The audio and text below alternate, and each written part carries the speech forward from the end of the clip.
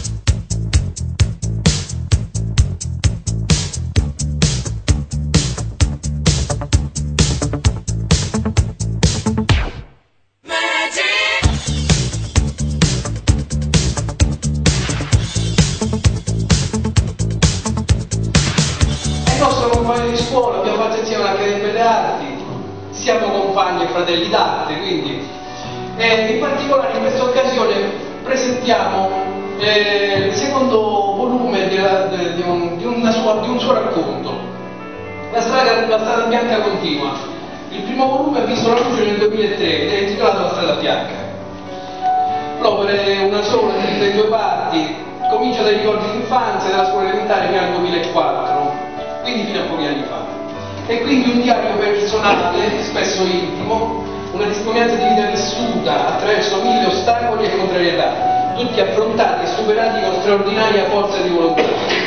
E con tenacia e ostinazione ha raggiunto quelli che allora erano i suoi sogni e aspirazioni di un artista nato, perché normalmente, come ha fatto notare il maestro, gli artisti nascono, devono scoprire la loro strada alla fine. È difficile creare un artista da dove non c'è, ci vuole terreno perso. Quindi uscire dal ristretto ambiente del paese nel quale era nato, nella montuosa regione della Calabria in Friuli, prima dello sviluppo avvenuto dopo il secondo conflitto mondiale. La forza immane per raggiungere l'agognata emancipazione ha il sapore di una saga di altri tempi, narrata da chi l'ha vissuta con schiettezza e semplicità. Bettina ha grinta, quella grinta proverbiale della gente della Carnia, che non si ferma davanti ai ciottoli, agli intoppi, ma guardando avanti procede senza sosta e senza tentennamenti. Ogni vita, dicono i filosofi, merita un romanzo, ma la vita di Pittin forse lo merita in modo particolare, perché è una vita niente affatto banale. Ogni storia è un dono per chi la scrive e per chi la legge, perché è scuola, è scuola di vita. Il racconto è sempre catartico, una liberazione, una purificazione per chi lo fa.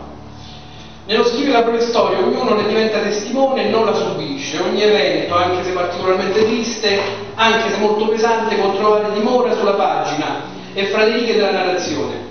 Pian piano svela allo scrittore, quindi anche al lettore, la strada bianca che anima la sua vita. È una strada, come scrive Vittin nella prefazione, bianca perché non ci sono indicazioni, si, si va eh, seguendo le proprie attitudini, la volontà, la coscienza di poter affrontare tutti gli ostacoli disseminati, disseminati sul cammino. È una strada di un deserto, tu la costruisci, il mondo che, che, percorri. Ma Vittino non ha avuto bisogno di indicazioni, ha supplito con il suo coraggio, con la sua meticolosità, l'intraprendenza e la pazienza ostinata di riuscire sempre unita alla grande umiltà, ma anche con il suo altruismo, la sua generosità, insomma tutto quello che magari qualcuno chiama anche virtù. Pittina è proprio capace di tutto ciò, è questo che ammiriamo nelle sue opere, nella vita che lui si è costruita proprio come si costruisce un'opera d'arte. Insomma, un grande insegnamento per i giovani, che da queste pagine avrebbero tanto da imparare. Nel primo libro Pittina racconta con la giusta aristocrazia morale e con la dignità di chi è partito da tanto lontano il suo difficile passato, la sua adolescenza nella povertà, le prime esperienze di lavoro, le difficoltà logistiche di sopravvivenza, le vicende della guerra che l'hanno visto partigiano nella libera Repubblica di Carnia, il difficile dopoguerra e quindi la volontà di conseguire un titolo di studio alla fine di ottenere un lavoro qualificato, ma racconta anche degli aiuti ricevuti da persone che incontrava per strada, mentre andava e dipingeva e disegnava per strada, perché è un mestiere, eh, uno, di quei mestieri che non ci sono più. Eh, oggi ci sta il fotografo, una volta c'era chi disegnava per strada e lui disegnava per strada e ha conosciuto una marea di persone eh, alle quali poi ha dimostrato grande riconoscenza e grande amicizia nel corso della sua vita.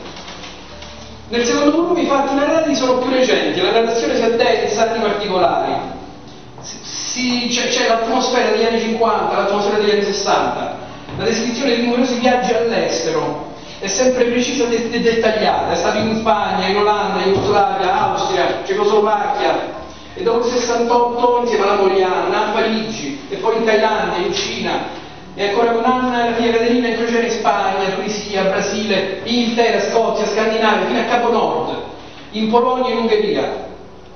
La narrazione è quella che farebbe ognuno di noi, la meraviglia vissuta con gli occhi di un cuore puro d'artista. Nella sua narrazione poi non trascura di annotare gli eventi che hanno fatto la storia, anche la storia del nostro paese, come il disastro del Vaillant, le manifestazioni studentesche del 68, di cui qui abbiamo un esempio perché c'è stata una manifestazione fino all'altro ieri che si è svolta qui, proprio in, questo, in questa sede. E poi il terremoto in Friuli del 76, il sequestro di Aldo Moro, la morte di Papa Luciano, il disastro della centrale atomica di Chernobyl, la guerra del Golfo, l'incendio della Fenice, la guerra del Kosovo, l'attacco terroristico alle torri gemelle di New York. Ma ancora una volta non sono gli eventi di cui Pittini ci rende partecipi, ma il suo modo di viverli, la serenità, la dedizione e soprattutto la sua dimensione creativa. Non è tanto importante quel che accade, ma come lui ci si confronta, come lo vive. La sua forza di volontà annulla ogni pessimismo nobile, l'impotenza, la rabbia eh, su esso sottintesa. Nelle sue pagine non troviamo mai questo, nelle soverchierie prepotenti, alle penose delusioni, ai numerosi eventi sfortunati a cui va incontro. Pittin contrappone concrete azioni e non inutili lamentele. In lui alberga sempre misericordia e non rancore. E questa non è soltanto bontà infranzitiva, questa si chiama dignità. Raccontarsi, scrivere un libro sulla propria vita, sui fasti, nei fasti del vivere quotidiano, con gli alti e gli inevitabili colpi bassi, può sembrare semplice e facile, ma non è così. C'è sempre il rischio di indulgere, di autolodarsi, di sacrificarsi per piacere del lettore, insomma, di uscire dalla realtà dei fatti, dalle tante vicissitudini. c'è pure il rischio della prolissità, come quella che sto facendo io adesso, c'è pure le, le ripetizioni, soffermarsi troppo sulle descrizioni, insomma c'è il rischio di annoiare il lettore e deludere l'interesse dell'aspettativa. Così non è. In Luigi Pittin, arte Pittin, ricordatevi che non c'è la I perché è friulano, i cognomi friulani, anche veneti, perdono la, la vocale finale, che fin da ragazzo proponendosi di codificare quanto gli sarebbe successo, cominciò ad annotare fatti, cose, incontri, situazioni positive e negative, prospettive felici e delusioni, quasi un diario che può costituire una fonte preziosa per conoscere l'uomo, scandagliare le, tenden- le tendenze e i sentimenti.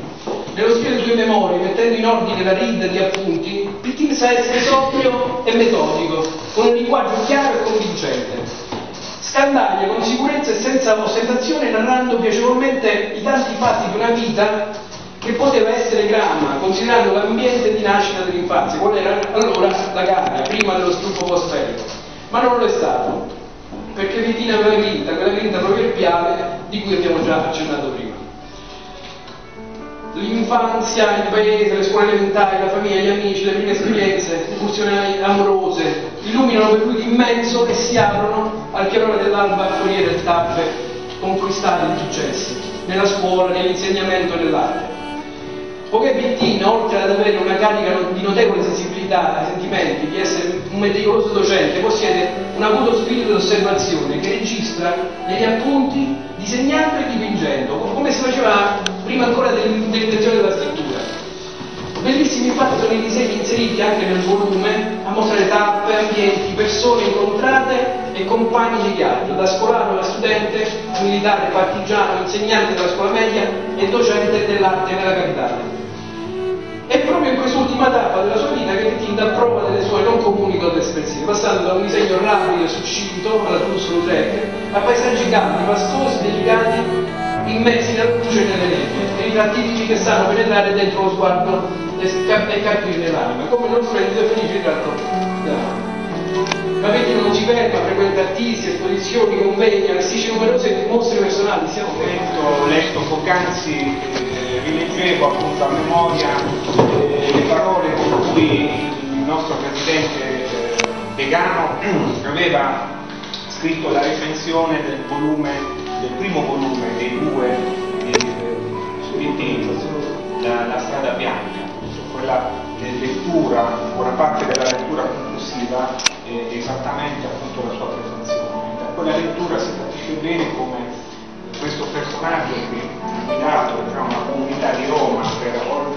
oltre 40 anni avesse diciamo, questa caratteristica di intercettare il mondo dell'arte, avesse una sensibilità straordinaria che appunto poi si è diciamo, tradotta nel promuovere, oltre che nel ricercare artisti, nel promuovere molte, molte mostre d'arte in diverse situazioni, dalla propria sede, dalle immagini che scorrevano, eh, vedevo appunto la sede, la vecchia sede della nostra associazione Clotilde, a Piazza del Popolo, ma poi fino anche un ultimo, eh, la personale a Palazzo Ferraioli, l'ultima diciamo del, di, di Luigi, che è stata promossa dal Fogola Foglani. Eh, le vite di, di Luigi Pittini e di Adriano Vegano si sono incrociate per molti anni della loro esistenza, lui era a Roma molto, molto prima che arrivasse il nostro presidente, il presidente Milano arrivò nel 61, però credo che molto presto eh, questa sua diciamo, attitudine alla valorizzazione delle ricerche della, delle radici friulane avesse poi portato due a frequentare la stessa strada.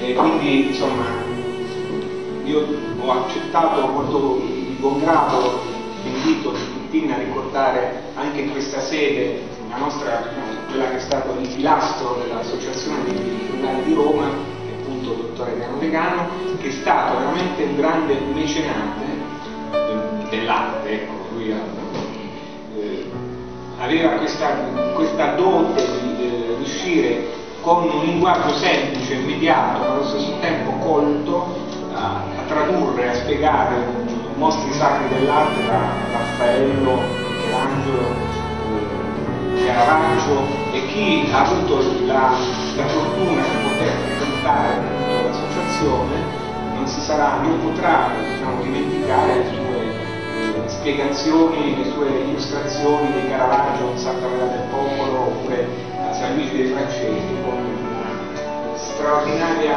abilità espressiva.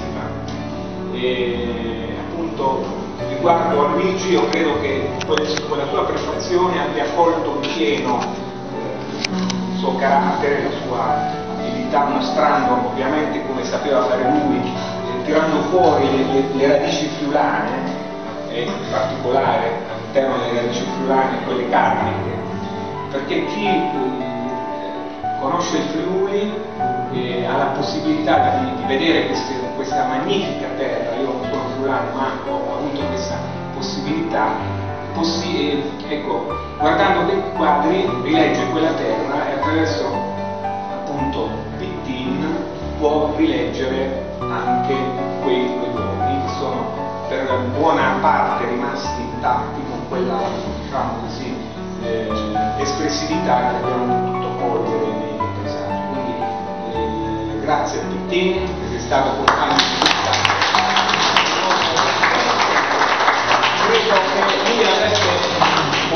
avrebbe, certamente, conoscendolo bene, eh, colto questa occasione per, per parlare di lui ecco, in maniera naturalmente più, più, profonda per il grande spirito di amicizia che lo ha sempre legato.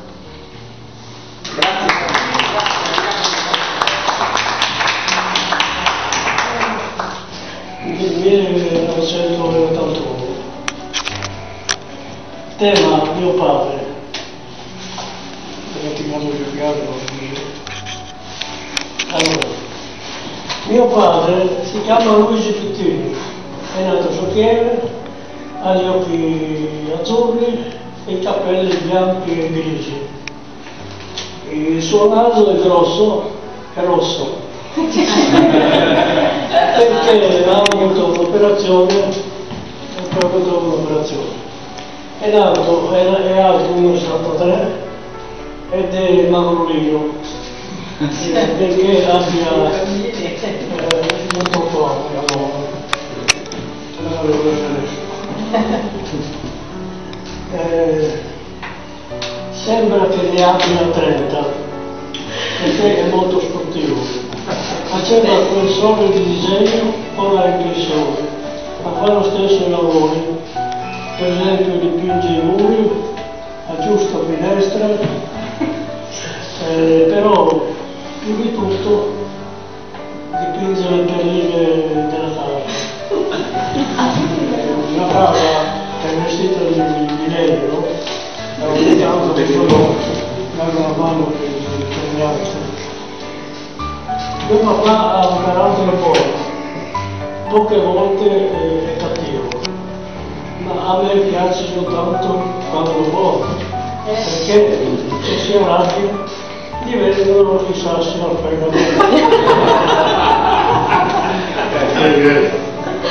quando faccio, quando, quando io faccio gli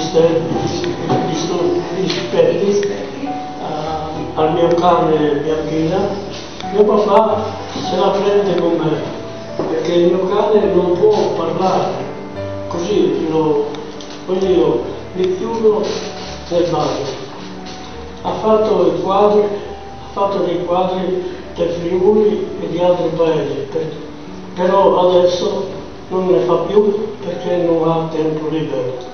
Quando mia mamma sta male, a mio, a mio papà tocca fare il casalino, tanto lui non si ammala mai. Quando mia mamma butta qualcosa, quando mia mamma butta qualcosa, a mio papà succede il mondo. Poi arrivo io che non posso sentir gridare e rimetto un po' la pace. Io non vorrei cambiare il mio papà perché gli voglio tanto bene e anche se è un po' nervoso. E giusto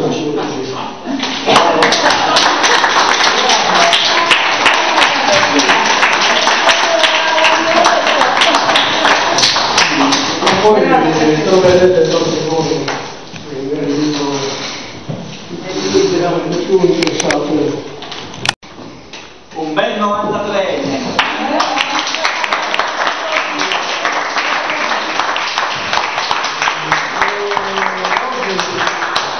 E vi ringrazio di essere intervenuti, eh, ringrazio anche quelli che potevano venire, però sciopero. Eh, oggi sì. Purtroppo è capitato lo sciopero. Eh, oggi è come festeggiarsi il mio novantesimo compleanno, perché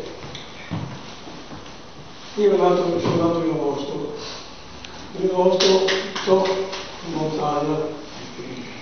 Eh, Ecco, sono molti tutti i miei compagni, tutti, Eh, sono un po' solo. Infatti ho invitato, venimi a trovare, Eh, non da voi. Grazie di nuovo. Grazie a voi.